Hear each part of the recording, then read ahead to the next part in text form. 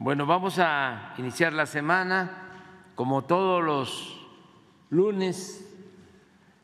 ¿Cuánto tiempo llevamos? Ya cinco años. Sí. Casi, no, cuatro y medio. Cuatro años y medio. Todos los lunes.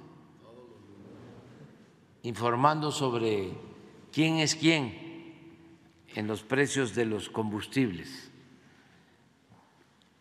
Es una información muy importante porque ustedes saben que si aumenta el precio de las gasolinas, aumenta todo.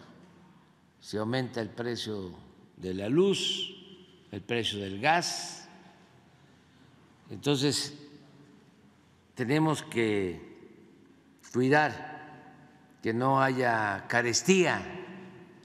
Entonces vamos a continuar, nos ha ido muy bien en ese aspecto, a pesar de la pandemia, de la inflación que precipitó la guerra de Rusia y Ucrania, se ha venido reduciendo el índice inflacionario poco a poco.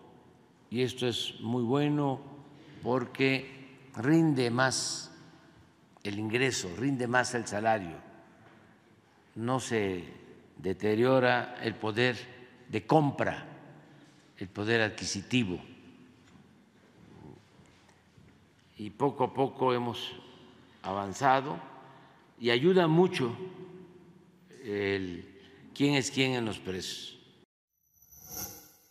Gobierno de México.